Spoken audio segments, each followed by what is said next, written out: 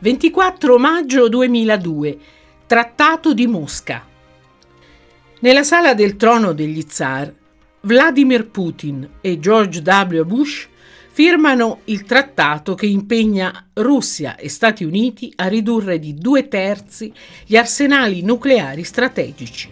È il primo accordo di disarmo firmato dalle due superpotenze dopo lo START 2 del 1983.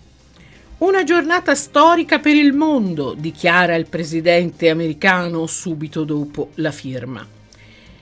Ma c'è un concreto ostacolo. Il trattato prevede che le ogive nucleari già installate, circa 6.000, siano ridotte in 10 anni a un numero tra 1.700 e 2.200, ma non indica cosa fare delle testate nucleari smantellate.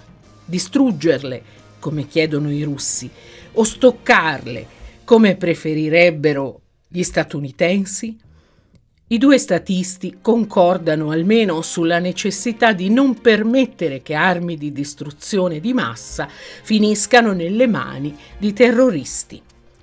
In attesa della ratifica parlamentare da parte della Duma russa e del Congresso di Washington, i due presidenti firmano altre dichiarazioni congiunte sulla cooperazione bilaterale economica, sulla cooperazione energetico-petrolifera, sulla circolazione delle persone, sul Medio Oriente.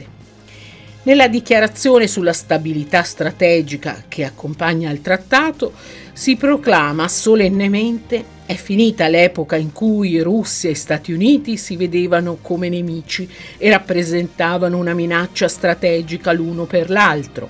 Ora, sottoscrive Putin, seguito dal suo ospite, siamo partner e collaboreremo per promuovere la stabilità e la sicurezza.